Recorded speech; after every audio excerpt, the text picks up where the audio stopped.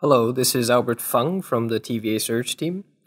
As some of you may know, we've been doing experiments in virtual reality or VR, and we'd like to show you some of the results in this following video.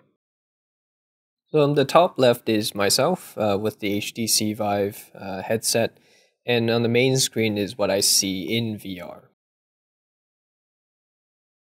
So we start with a liver model that we made from patient-specific CTs. We look around it, um, but we can also reach out and just touch it with our hands, rotate it, move it around to get a better view.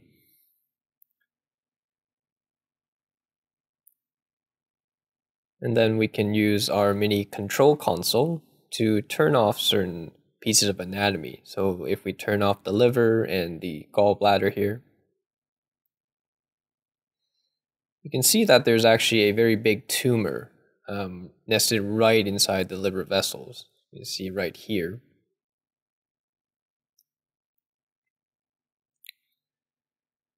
And if we wanted to examine it further, we can turn off some of the vasculature. Let's just leave the portal veins for now. And we can magnify it just a little bit. There we go. And we'll take a look at the left portal vein that's very close to the tumor and the right portal vein, which there is actually a little bit of distance from the tumor.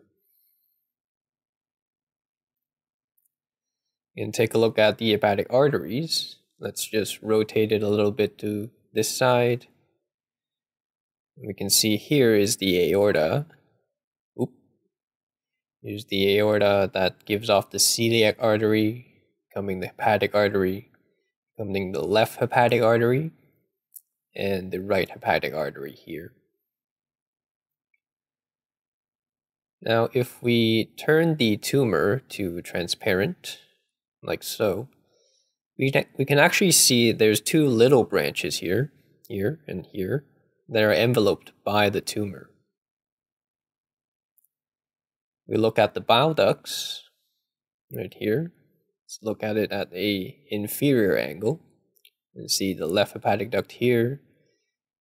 And then we can take a look at the uh, right duct right here. Notice how close it runs to the uh, tumor.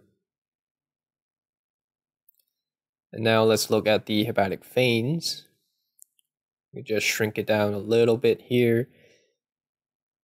We just notice the uh, middle hepatic vein is right in front of the tumor. And if we look at the back side, notice the right hepatic vein right here but also a portion of the vena cava that's enveloped by the tumor. If we pulled up some CT scans of this case, so let's go to the vena series and just scroll all the way up right here. We can magnify it a bit. Now see that dark mass right in the middle there of the liver. That dark mass uh, represents the uh, tumor we've been talking about. And in the middle, there's a bright white dot.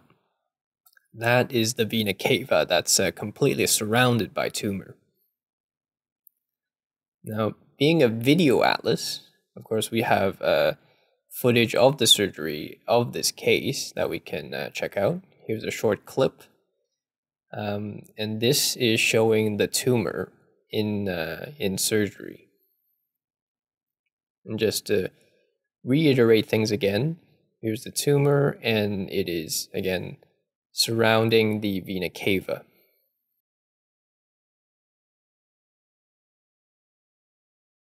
So being a video atlas, we have about 40 cases that we can uh, explore using this module. You can just pick a transplant case for now. So this patient uh, suffered from renal failure the uh, two little kidneys up top here were not functioning, which led to their first kidney transplant here, which unfortunately wasn't working neither. You notice along the aorta there's a lot of plaque-like substance. This is due to uh, atherosclerosis. But notice on the iliac artery here, there's a smooth patch that's free of plaque. What the patient needed was a transplant, and in this case, it was a kidney transplant along with a pancreas transplant. The surgeons joined the renal artery and the pancreas arteries together in a graft, and the idea was to connect this shared inflow to that smooth patch there, which I'll try to demonstrate uh, what the end result looks like.